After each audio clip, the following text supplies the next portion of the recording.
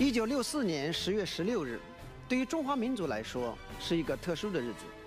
这一天下午三时，新中国首颗原子弹爆炸成功。当试验人员看到巨大的蘑菇云腾空而起，纷纷跳出战壕，相拥而庆，喜极而泣。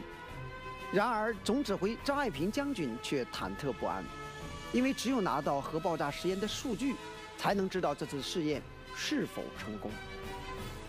核爆之后，为了第一时间取得数据，一些负责爆炸冲击波测量的青年人，冒着核辐射的风险，冲向爆炸核心地带，迅速取出埋设于地下的压力自动记录仪，并以最快速度把记录仪送到了指挥部。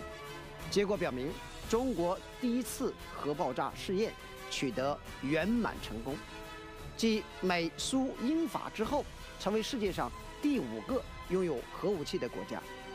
今天，就让我们走进一位负责爆炸冲击波测量的英雄，他就是全军十大挂箱英模，曾参与中国全部四十五次核试验的中国工程院院士林俊德。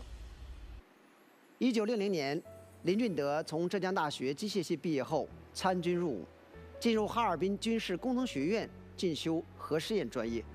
之后随部队来到大漠深处一个在地图上还没有标注的地方——罗布泊。罗布泊是一个什么样的地方呢？用老百姓的话来说，叫“天上无飞鸟，地上不长草，风吹沙石跑，岩峭当屏障”。第一颗原子弹试爆成功后，马兰基地的很多人都被调走，林俊德也收到了工作安排，工作的地方在南京。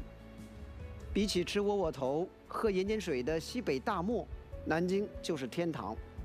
但林俊德没有去，因为他知道，第一次原子弹试爆虽然获得成功，但是如果中国一直没有完善成熟的冲击波测量体系，核科技上。就永远无法独立成熟。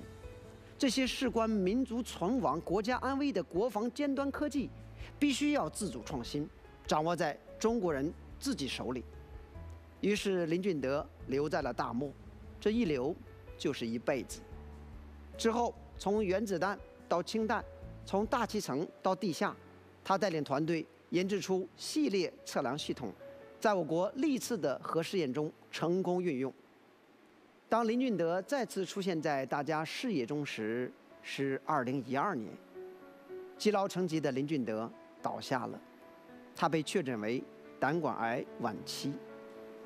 家人建议他接受化疗，放弃工作，但他拒绝了。他说：“我宁要有质量的一天，不要没质量的十天。”五月二十六日，因病情恶化，林俊德被送进重症监护室。醒来后。知道自己的时间不多了，为便于工作，他坚决要求从重症监护室转回普通病房。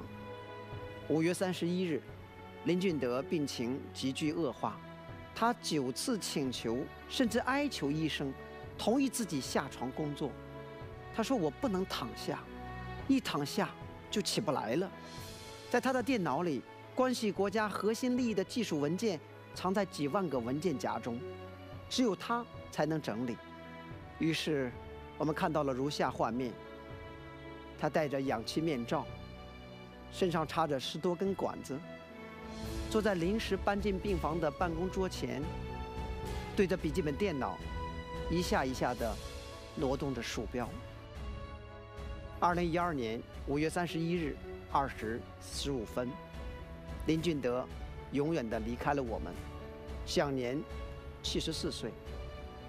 临终前，他对妻子微弱地说：“死后将我埋在马兰。”就像我们一直说的，哪有什么岁月静好，只不过是有人替我们负重前行。他们犹如璀璨群星，又如火红蜡烛，以耀眼的光芒照亮着我们前行的道路。